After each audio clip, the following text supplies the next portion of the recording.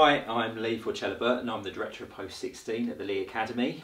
This is the third video in a series of five about your options uh, at uh, the end of year 13. And this video is all about university. Uh, different types of university, how you apply, how offers are made. Hopefully it will make clear to you uh, the entire process. So, if you know that you want to carry on studying uh, and get a degree at university and you want the experience of going to university, um, there are a series of questions that you need to ask yourself to be able to make your choice of where to go and what to study. The first question is to ask yourself, what would you like to study? Now that's a really important question to ask yourself because in the UK there are more than 400 degree providers and between them they offer more than 50,000 different courses. So the choice is absolutely enormous. So it's really important that you actually work out what it is that you want to study uh, at university. Now some courses at university are very specifically designed to prepare you for very specific careers.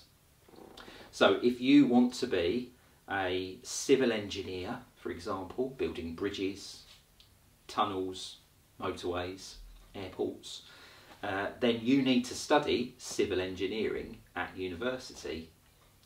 Um, however, other degrees are what are called gateway degrees and they are much less career specific and they uh, will equip you to do a bigger variety of careers at the end of it. So if you already know what career you want to do, it's a really good idea to do a career specific degree. If you are not sure what career you want uh, when you finish your degree, then it's a really good idea to do a gateway degree course to leave your options open at the end of uh, that three years of study. So I studied English at university. That is considered to be a gateway degree because I could have gone off and done almost anything I wanted to at the end of an English degree. Um, uh, I chose to become a teacher, uh, but I could have chosen to become a journalist, I could have chosen to go into the world of business, um, I could have done all kinds of different things with an English degree. Um, so if you're not sure what you want to do career wise, maybe consider doing a gateway degree. Um, the other thing to consider is that not all degrees are going to lead to a financially rewarding uh, career. And if you do uh, a search online uh, to look up which degrees uh, earn you the most money uh, when you start work, you will see that there are league tables published every year of which degrees actually will end up earning you the most money and which degrees end up earning you the least money. And there are certain degrees that no matter how interested you might be in them, you, they aren't necessarily going to lead to a particularly financially rewarding career at the end of them. And that might be part of the consideration that you have when you are choosing which degree to study it's really helpful for you personally if you do know what career you want your starting career to be because that might make it very much easier to choose a career specific degree to do at university. The next question for you to ask yourself is how do you prefer to study?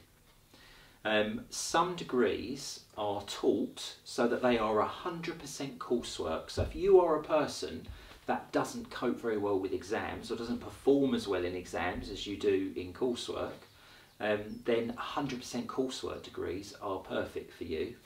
However, some degrees are 100% exam based. The, the work you do during the course of the year doesn't contribute to your degree result at all. It is all down to the exams that you take in each year of your degree. If you are an exam uh, person, you need to be avoiding the coursework based degree programs and choosing exam based degree programs. And in the course description that the university provides for each course it offers, it will tell you how that course is assessed so that you know whether it's going to have a lot of coursework or a lot of exams or a balance between the two. Most degrees combine the two. They have some coursework and some exams. It's just that you'll need to look very carefully at each course at each university to see what proportion is exam and what proportion is coursework. So make sure that you are thinking about how you prefer to study when you are looking at courses at universities. There's no point choosing to do uh, uh, uh, a degree program that is assessed in a way that you know you don't necessarily do very well with. The next question to really think about carefully is where do you want to study? Now, for lots of people, for all kinds of reasons, it might be family commitments, it might be part-time employment commitments, there might be social or financial uh, reasons for it. They choose to stay living at home when they're at university. And there's absolutely nothing wrong with that at all. You'll still get your degree. Uh, it will still take you the same amount of time as it takes anybody else. Your fees will be lower, so it's cheaper if you live at home when you go to university. You do have to rely, obviously, on your parents being willing to carry on subsidising you financially for the next three years and have you living at home with them. It may surprise you to know that there are lots of parents who can't wait for their children to go to university because it's the next uh, step in your parents' lives in seeing you fly the nest at that point. Um, uh, don't take it personally if they decide that they think that you should go away for university, but there are going to be some parents that do want their children to go. Um, uh, however, the majority of students do choose to go away from home for university. So that way you get the experience of living independently from your parents. Uh, you usually end up having to learn to cook for yourself, do your own laundry, uh, be responsible for your own finances, um, be responsible for your time and how you spend your time with no one standing over you uh, telling you what to do and when to do it. Uh, it is the best growing up experience uh, to go away from home uh, to university because you have to become responsible for all those things straight away. University terms only last 10 weeks and then you're back home uh, for a month uh, for your holidays in between terms and there are three 10 week terms over the course of the year. So even if you go away from home, uh, you'll be away from home for 30 weeks of the year. Uh, that still means that you're going to be at home uh, for 22 weeks of the year. So um, even going away from home to university, you're still going to be at home uh, a lot. Um, so just to remember that going away from home to university doesn't mean going to the other end of the country. It might be that you decide that instead of going to Greenwich, which would be very easily commutable uh, from here in Dartford, it might be that you decide you're going to go to Brighton or you're going to go to Essex um, for university. They're both less than an hour's drive from Dartford, uh, so very accessible for you to get back home again um, but uh, far enough away that they're probably not commutable on a daily basis and therefore um, uh, you'll get the chance to live away from home. So going away and getting independence doesn't have to mean going the other end of the country. You might decide you want to. When I applied for university, I drew a 200 mile radius around Dartford and said I'm not applying within that radius.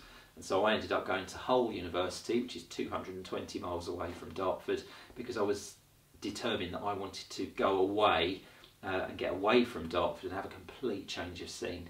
Uh, but you don't have to go that far to still have the experience of uh, independence. Now, the next really important question for you to ask when choosing a university is uh, what kind of university do you want to go to? there are two main differentiations between different kinds of university.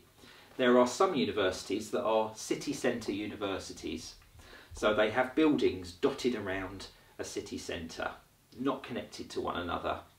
When you come out of the building where you've just had a lecture, for example, you're coming back out to the, the everybody else that lives and works in that city, getting on with their day-to-day -day life. If you go to university in London, that's what the universities are like. Uh, lots of big universities in cities uh, are based in city centres. They, um, however, the other kind of university that you might decide you want to go to um, is a campus university.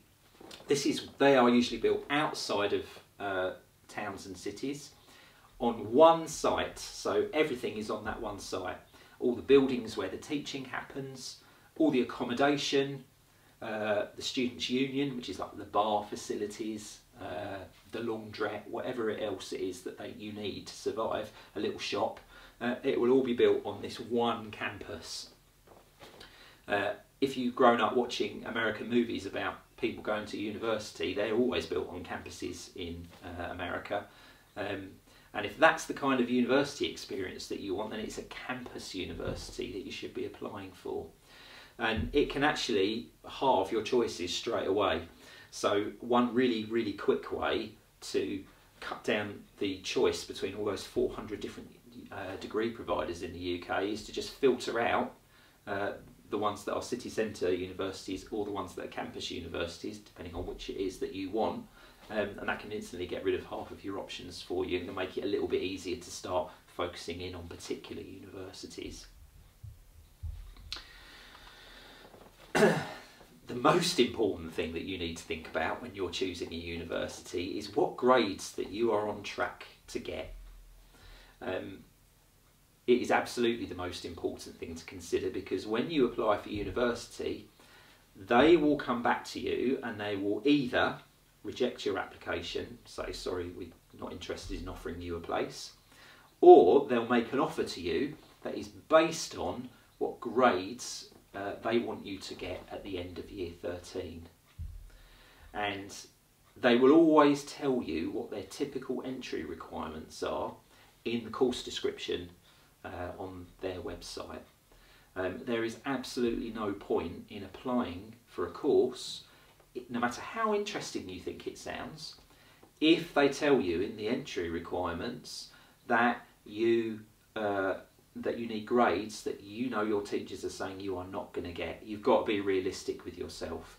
And I have to make it really clear to you now that when we put your school reference in to university, we will not over predict just to match a particular university's uh, entry requirements. Because all we're doing if we do that is setting you up for disappointment in the summer of year 13 when you get your results. We would rather that you were realistic about your options now and apply to universities that you know you've got a fair chance of being able to get the grades that they're looking for. When universities make an offer to you, there are a number of different ways that that offer might appear. So, some universities will come back to you and say, yes, we'd like to offer you a place, but you have to get particular grades, in the particular courses that you are studying. Say you're studying English, history, and global politics. Uh, they might come back to you and say you have to get an A for history, uh, a B for English, and a 6 for global politics. Uh, some universities for some courses will specify in their offer that you have to get a certain grade in one particular subject and it's usually the subject that is most closely related to the course that you are applying for. Uh, so if uh, you were applying to do sociology, for example, at university, they might specify that they want you to get a particular grade in social and cultural anthropology, uh, for example increasingly, and now it's the majority of universities, when they make their offers to students, they will make their offer not in terms of the grades that they want you to get for particular subjects you're taking, they will make you an offer on something called UCAS points. Now, UCAS points are where you turn the grade that you can get for a in different kinds of subjects into a number of points. Uh, and so instead of saying they want you to get an A, a B, and a 6, they might say to you they want you to get 120 UCAS points. Um, and they don't mind how you get those 120 UCAS points so long as your points all add up to 120 uh, at the end of it. Uh, and in fact, the slide that follows this here shows you how they convert grades to uh, points. So for example, Uh, if you get the top grade for an IB diploma, grade 7, that gets you 56 UCAS points. Similarly, if you get the top grade that you can get for an A level, which is an A star, that will also get you 56 UCAS points. And if you get the top grade you can get for a BTEC, which is distinction star, that will also get you 56 UCAS points. Since September 2016, when the government did their last big review of post 16 qualifications, they have made it so that all those different course types are equivalent when it comes to the number of UCAS points that they generate because they don't want students to be limited on where they can go to university based on the type of qualifications that are available to them in the school where they take their post 16 qualifications. We're fortunate in our school that we offer all three kinds of qualification, so it should make it a little bit easier for you to work out um, exactly how many points you're going to get. Uh, on the UCAS website, there is a UCAS uh, tariff calculator where every time you get a set of predicted grades from your teachers, you can put those into the tariff calculator and it will tell you how many UCAS points that, that turns into. Uh, if you get if you've decided that your first choice university needs you to get 120 and your uh, predicted grades, say at Christmas of year 13, add up to uh, 112 UCAS points, you know you've got to find another 8 UCAS points somewhere in there.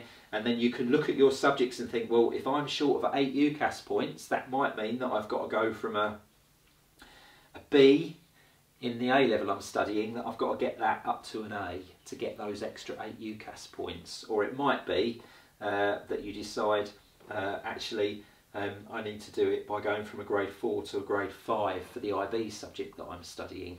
You need to be really proactive in turning your predicted grades every time you get a, a report um, into UCAS points so you can see whether you're on track for getting the, the points offer uh, from the university you've applied to and then making a decision which subject do I need to actually increase my grade in and you can be quite strategic that way in focusing on improving one subject while maintaining what you're doing in the others.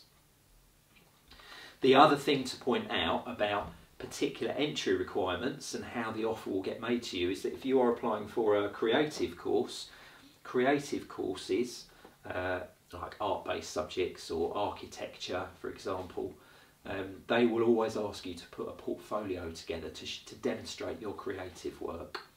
Uh, and we have staff in school that will help you to put your portfolio together so that you're ready for when you go for an interview at the university. You can take your portfolio with you and talk about the work that's in there um, uh, and what it shows them uh, about your skill level. So um, once you've uh, seen what kind of offer you're likely to get from a university, that is quite often straight away dictates whether or not you can keep that course and that university uh, on your option list of uh, universities you're looking at because uh, quite often people find out that they can't get the grades that uh, that they know that university will typically want. Now, something else around uh, offers and how they're made by universities uh, is that most universities will make offers that are called conditional offers. You can come to us if you get a certain number of UCAS points or particular grades in particular subjects. That's called a conditional offer. Increasingly, uh, a few years ago, universities started making unconditional offers where they said you can come and join us no matter what grades you get. And there was a flurry of uh, universities that got um, some quite negative press because they were trying to get students to come to them saying it doesn't matter what grades you get. Um, there is some interesting data from UCAS that says that typically if a student is going to university uh, on an unconditional offer, they'll end up getting two grades lower in their uh, exams in year 13 than they might have done if they were working for a conditional offer. So you've got to be really careful not to take your foot off the gas if you do get an unconditional offer from a university. There's been a legal action going through uh, which has suddenly made it a lot less likely that you're going to get unconditional offers from the university. Um, so they are probably going to become uh, uh, somewhat of a memory going forward. You're most likely to get an offer that is conditional on you getting uh, certain uh, grades. Some universities are compromising between the two and they're making what are called conditional, unconditional uh, offers, which means they'll make a conditional offer to you. You need to get a certain number of UCAS points. But they say, but if you make us your first choice university, then we'll make your offer unconditional. And that's how some universities are choosing to get around the legal challenge that's going against unconditional offers. Be wary. Don't feel pressured into accepting a place because they're saying it will become an unconditional offer. Uh, you've got to choose the university that is the right one for you, not the one that you think is going to be easiest to get into. So, as well as thinking about whether universities are campus or city based universities, you can also think about how old the university is and therefore the physical differences between them and the types of course that they offer. So in the UK we have ancient universities, which are the very oldest ones, the ones that have been around for eight, nine hundred years, like Oxford and Cambridge and some universities in Scotland. There are red brick universities, which are the, the 19 next oldest universities in the UK. Uh, and they were all universities that were given their charter, their permission to be a university before 1963. So universities like Hull, where I went, for example, or Reading or Bristol. Uh, and then there are a whole bunch of universities that were built from 1963 until 1992 that are called plate glass universities, and that reflects the type of architecture that you see there because of when they were built in the 60s and 70s. Um, universities like the University of Kent, who we work with really closely, University of Sussex, Warwick and York, which are both Russell Group universities, so the elite of UK universities, they're all plate glass universities. They've become universities within the last 50 years.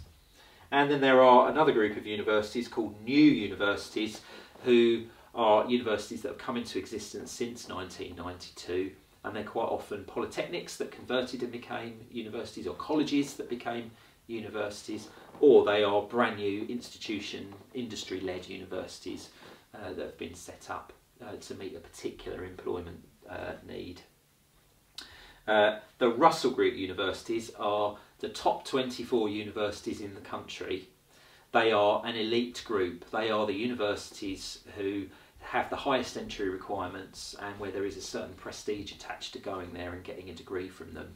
I would like to point out, however, that they are self-appointed. They decided that they were going to be the elite. They uh, made themselves uh, selective in that way. Um, it's a bit like going to the university equivalent of a grammar school. You have to get higher entry requirements to get in there, uh, and they expect more of you once you get there. Um, there, although there is certain uh, prestige to go into one of those Russell Group universities, you've really got to ask yourself, are they good at the kind of courses that I want to study? Because the general rule of thumb is the newer the, the university, the more likely they are to offer newer and funkier courses. So if media is your thing, there is no point looking in an ancient or a red brick university because they are not set up to teach those courses. You need to be applying to a plate glass or a new university that has been in existence when those new media technologies have come into existence as well. So, for example, Bournemouth University, which is a uh, plate glass university, um, uh, is the number one university in the UK for media based courses. Um, so, you need to be choosing universities that are particularly good at the course you want to do, not just whether you think they are uh, older and therefore more established and uh, will have more prestige. Uh, I talked in a previous video about the widening participation uh, agenda that universities have. Um, uh, if you fall into a wider participa participation agenda category, you must make sure you state it on your um, uh, personal statement because the university is much more likely to make you an offer if they're weighing you up uh, between someone else, you and someone else with similar qualifications as you. Um, so, next step for you if you're thinking of going to university is work out what subject you want to study, decide which assessment method is your preference, decide what location you would prefer for university, decide on the type of university that you want to go to, and look up what the entry requirements are for the courses at those universities. If you can keep focused on those five things, it should mean you can whittle those 400 university providers down to a manageable number uh, so that you can start thinking about finding out more about them. And that might revolve around going to open days, uh, either virtual open days where they'll show you around the university online or physically going to the open day putting an application in and then going to an applicant day down the line where once they've made an offer to you, you uh, go to visit them to see what they're like, um, or beginning an email communication with them or communication through social media to find out if they are the university option for you. So, uh, if you're planning on going to university, use the page on the website that is all about university, including uh, following the link to set up your own UCAS hub. So all the research you do around university, start gathering it together in your little personal hub on UCAS. I'll see you in the next video.